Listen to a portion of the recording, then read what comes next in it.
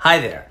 Welcome to New England, the home of lobster, clam chowder, and of course, our world famous Boston baked beans.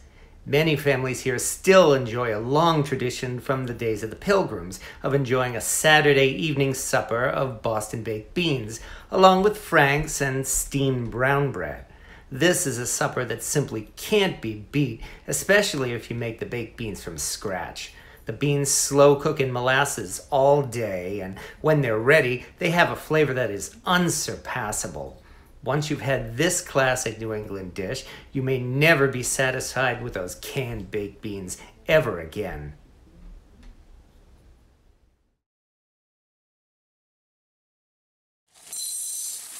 You can certainly use beans from a can, but if you take the time to soak your beans overnight, you'll have the best tasting beans in the world, bar none.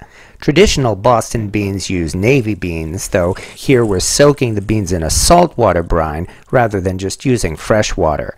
I found soaking the beans in salt water does a wonderful job softening the beans, and the beans won't be overly salty when they're cooked.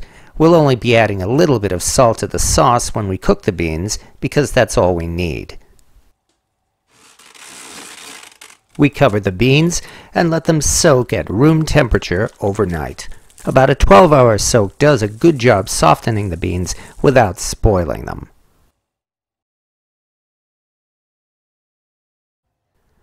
The next morning, we preheat the oven to 250 degrees Fahrenheit. Then it's time to prepare the bean sauce. One tip to pouring molasses, be sure to grease your cup with a couple of drops of olive oil before pouring the molasses. This will let you pour the molasses into the bowl without having to scrape it out with a spoon. From here, we add kosher salt, black pepper, dried mustard, and tomato paste.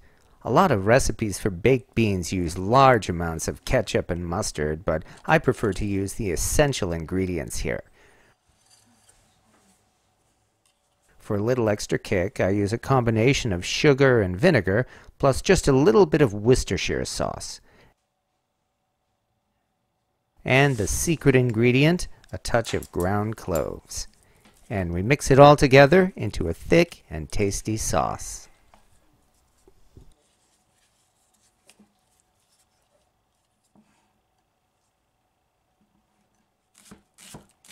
Now all we do is chop up an onion and then we bring out the bacon. Traditional Boston baked beans use salt pork or pork fat. Here's how to slice half a pound of bacon. But there's certainly nothing wrong with using bacon here. By the way, the pork flavoring isn't just there as a bonus, it's an essential part of the taste of these beans. I've had the Boston baked beans made at the world famous Durgin Park restaurant in Boston's Faneuil Hall, and I have to say I find their baked beans to be overrated. The additional pork flavoring just isn't there in their beans, though a Boston newcomer may not recognize this.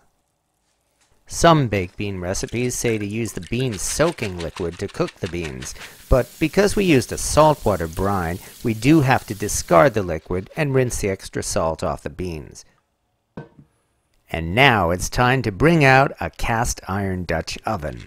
While the familiar ceramic bean pot can certainly be used to cook these beans, I prefer using cast iron because that's how it was done in the days of the early New England settlers.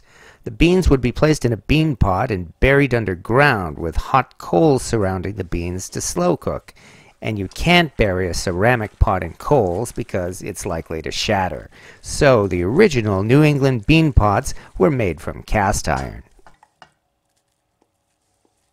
After mixing in the bean sauce, we add the onions and bacon to the pot and mix it together. Now we add enough water to completely cover the beans.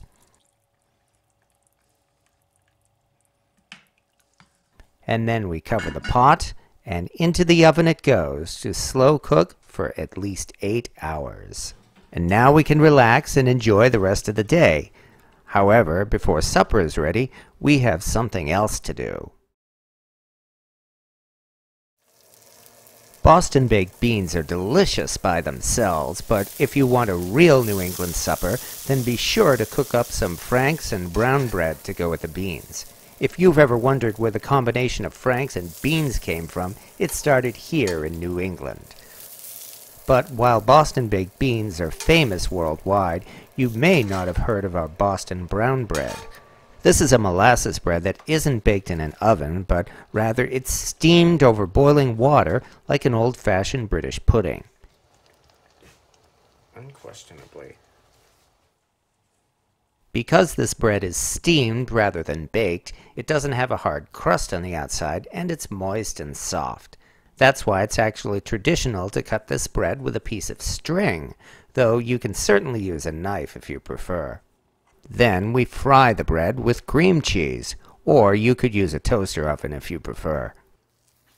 It's actually quite easy to make brown bread from scratch, but if you've never tried it before, be sure to find the genuine B&M brand brown bread in a can. Usually you'll find it at the supermarket right next to the baked beans.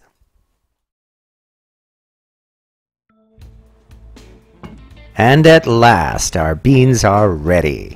Now we get to uncover the pot and see this. After slow cooking for 9 hours, the beans are soft and tender, and most importantly, they're not dried out.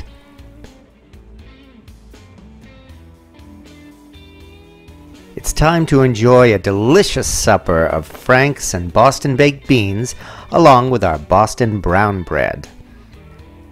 This is a dinner guaranteed to satisfy anyone's hunger on a Saturday night or any other night of the week.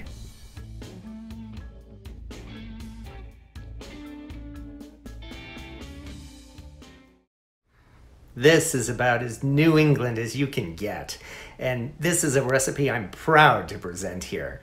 I do hope you give this a try and make it entirely from scratch because it's really not that difficult. And as far as having supper on Saturday night goes, you can't do any better than this, whether you're here in New England or anywhere else. Thank you for watching.